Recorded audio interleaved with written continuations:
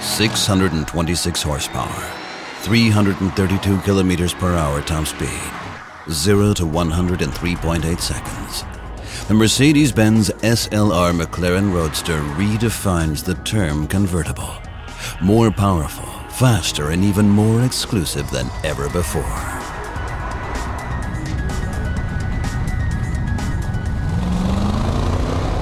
July 2007, Königstein in Taunus.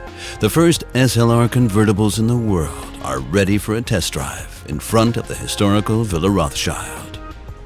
When a super sports car like the SLR Roadster sees the light of day, it attracts a vast amount of attention from the journalists, and the expectations are exceptionally high.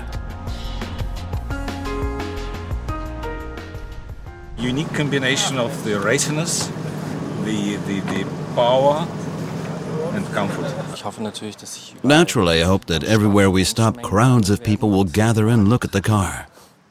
A highly exclusive car also in terms of the workmanship. The appearance is something truly special and we'll see if it holds what it promises.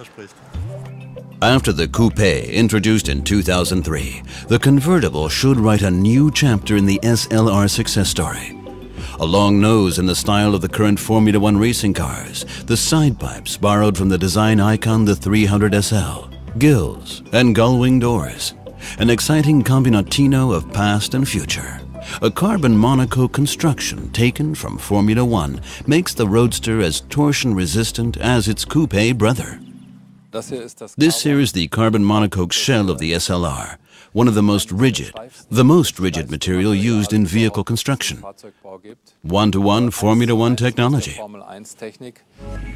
Thanks to the carbon fiber, the Roadster is only marginally heavier than the coupe, despite the heavy roof construction.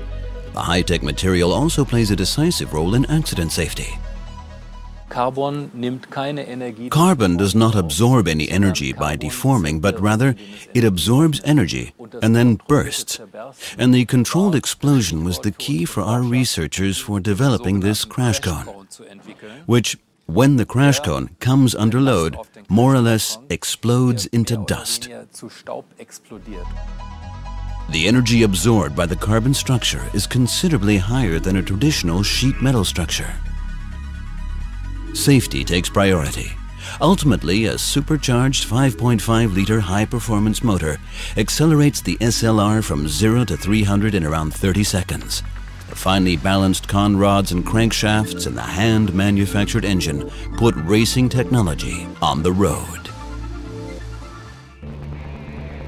Thus, the Roadster ties in with an old tradition. Time for a family reunion with its ancestor, the 300 SLR. As with the new SLR Roadster, the racing car from the 1950s combines contemporary Formula One technology with the formal elegance of a convertible. In those days, this unconventional combination promised everything except suitability for daily use. Gerd Staub supervises the historical racing vehicle collection for Mercedes-Benz. He knows the 300 SLR inside and out. Now, he takes the new SLR Roadster for a test drive.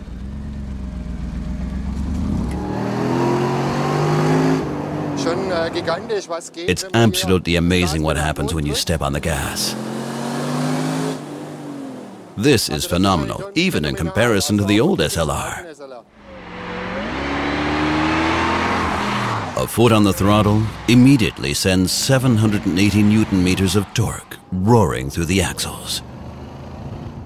The reincarnation of the open SLR legend? Well, I think that the legend was transferred one to one, and the vehicle simply offers an amazing driving experience. I think I could drive this vehicle to work every day. The SLR Roadster achieves something which almost no other sports car in the past and present has managed, bridging the gap between high performance, luxury, and the suitability for everyday use. And that is exactly what makes it unique.